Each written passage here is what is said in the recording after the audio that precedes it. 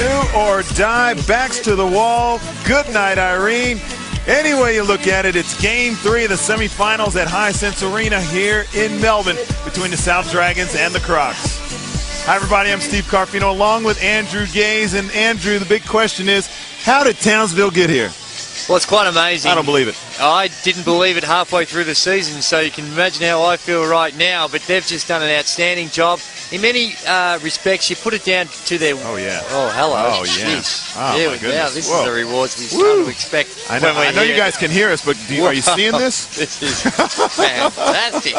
this is what we're talking about. Oh, this is beautiful. Fantastic. God. yeah. I got to come this place more often. This is this is the sort of respect we deserve, Steve. That's You know? right. Who's playing again? Who cares? Who cares? Yeah. This is good. We better we better do this again.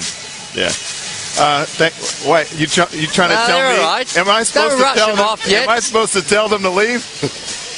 yeah, yeah, good one. You better ask Andrew. You better ask Father of the Year over here. See, I think these guys. My God. Woo. I think we're done. I'm just. Well done, girls. All right. Absolutely Thanks, spectacular. ladies. Fantastic. Thank you. that. Where would they come from? They just came out of nowhere. They're quick. I gotta give them that. Ah, All right. Whew, guys. Is it hot in here?